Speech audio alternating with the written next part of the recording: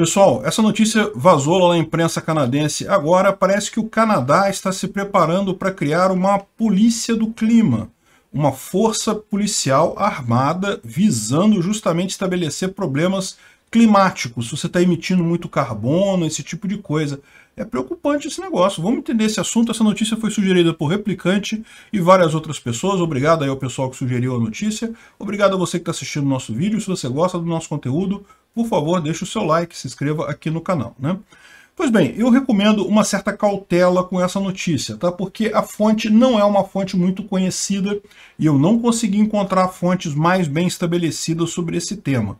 De qualquer forma, é um tema que me preocupa muita coisa, então eu acho importante a gente alertar, mas eu peço que vocês tenham em mente que isso daqui é apenas uma suposição do que pode acontecer. Né? O que, que aconteceu? O que está acontecendo lá no, no Canadá. Né? O Canadá, vocês sabem, é, tem dado uma guinada em direção ao autoritarismo com o filhote do Fidel Castro lá, o Trudeau, e desde aquele episódio com os caminhoneiros, até hoje, aquelas medidas extraordinárias que eles criaram, amigo, não, não acabou não. Continua valendo e o cara estão usando isso agora justamente porque eles estão pretendendo fazer aquela implementação similar da Holanda na, no controle de fertilizantes e coisa e tal, né? Enfim, e parece que o Ministério da, da, do, da Mudança Climática no Canadá, o SCCC, está construindo toda uma nova, um novo prédio lá em Winnipeg que seria justamente para controlar mudança climática. É uma espécie de política climática que eles estão planejando lá. E o que mais assusta o pessoal é que, é, se você olhar a planta aqui da região, tem inclusive um local para armazenagem de armas, tem uma, uma sala para controlada quieta, que é uma, seria uma sala para interrogatório, esse tipo de coisa. Então, ou seja, você tem realmente uma, é uma polícia, é uma, uma situação que é uma polícia do clima que eles parecem estar querendo montar lá nessa região. Né? Eles estão é, procurando agentes, então estão contratando pessoas para é, é, enforcement officer, ou seja, é, é, uma, um policial, um oficial para garantia de atendimento de determinadas regras ah, ambientais, né? Mas aquele negócio, é, parece que eles vão fazer toda aquela fiscalização de, de fertilizante, coisa e tal, de fazenda. Se você está poluindo muito, você vai ser proibido de trabalhar, esse tipo de coisa. E mais, então vão fazer isso de forma armada, é, é uma polícia realmente do clima que eles estão montando lá. É, isso daqui é o, o que eles estão dizendo que esse pessoal vai fazer. Então, é, é uma, o que eles chamam aqui de é, Impact Assessment Act. Então, é um ato de é, avaliação de impacto.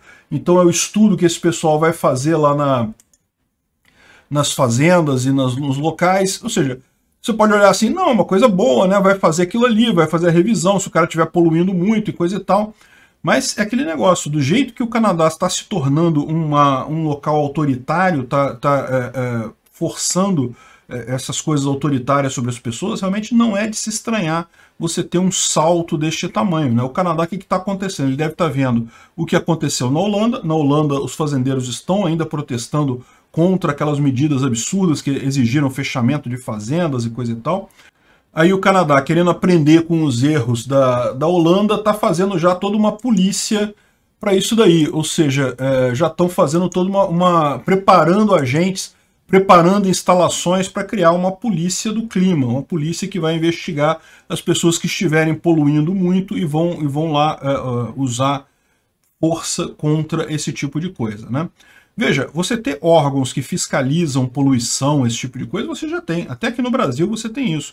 A questão toda é que, pelo que eles estão fazendo aqui, o, o tipo de coisa que eles estão armando é uma coisa muito mais aberta, muito mais ampla. Né? Uma coisa é você ter uma entidade como você tem hoje aqui no Brasil, tem o INEA aqui no Rio de Janeiro, tem a CETESB, eu acho que é a CETESB que faz esse papel em São Paulo. Em cada estado você tem, tem a FEPAM no Rio Grande do Sul. Enfim, você tem, em cada estado você tem um órgão que fiscaliza se a empresa está poluindo muito e coisa e tal mas tipicamente não é um órgão policial. Esse órgão ele pode até, em caso de, é, de uma contravenção mais séria, uma situação mais séria, ele pode chamar o apoio da polícia né, para é, é, fazer, fazer valer a lei, mas não é ele próprio um órgão policial nesse caso. O que eles estão fazendo lá é exatamente isso, eles estão juntando essas duas coisas. Seria equivalente aqui no Brasil a você pegar aqui no Rio de Janeiro a INEA ou a CETESB em São Paulo, criar um monte de delegacias espalhadas pelo país, com, com gente armada, e isso passar a ser um controle muito mais efetivo em termos de poluição. É uma coisa meio distópica isso daí, né? Eu fico extremamente preocupado com essa... O Canadá eu sempre, sempre encarei como um país livre, um país, um país que tinha uma, uma economia muito livre. A economia continua livre, aparentemente, mas em termos de agressão estatal a atividades, principalmente de agricultura, me parece algo muito preocupante. Né? Realmente, é, a Agenda 2030 aí da ONU seguindo a todo vapor. Né? Realmente uma coisa impressionante isso daí. A política, vocês sabem, é reduzir o uso de fertilizantes por fazendas canadenses em 30%.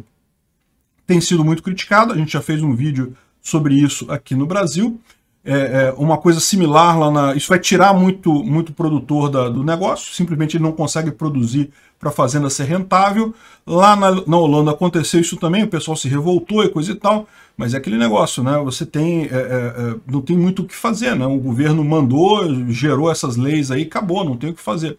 E o Canadá, você pode ver, está planejando alguma coisa muito mais é, forte nesse sentido. Tomara que não seja isso, tomara que a gente esteja entendendo errado, que essa fonte aqui não seja confiável, que não seja isso que está acontecendo.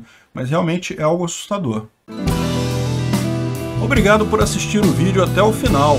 Além de curtir, compartilhar e se inscrever no canal, considere se tornar patrocinador com valores a partir de R$ 1,99. Clique no botão Seja Membro abaixo para saber as condições e vantagens de patrocinar o canal.